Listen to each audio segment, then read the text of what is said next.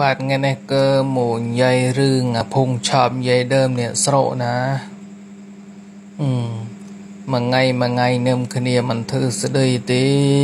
ក្រោកព្រឹកឡើងមកនិយាយដើមកូនគីកូនអេងកូនមីគ្នេះចេះកូនអានោះចេះកូនអេងមើលតែជាអូ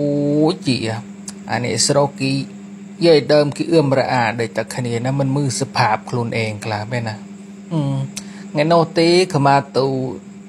ធីវងានឆាងចង្វាត់ស្រិនអឆ្នាំពីមុនម៉ាញ់ក៏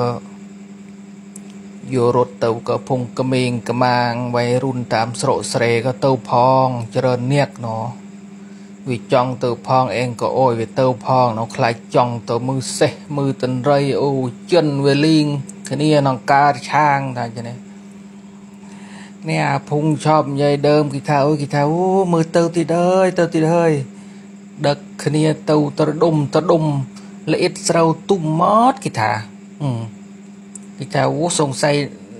នឹងដឹកទៅល្អិតស្រូវទុំត្រាំជ្រុំស្រែមມັນផងនិយាយចំណោះមែនអាអេងបរិសុទ្ធផុតផងណាមិនគឺគិតស្ដីចំណោះມັນផងនិយាយមែន ថាឯងទឹកនឹមភងកមីងទៅហេកគ្នានឹងស្រូវទុំមិនផូនយាយណាន់តើយដេញគឹតបានមកចានេះអឺមកប្រែនឹងយាយណាមិនតនងឆុកណាណា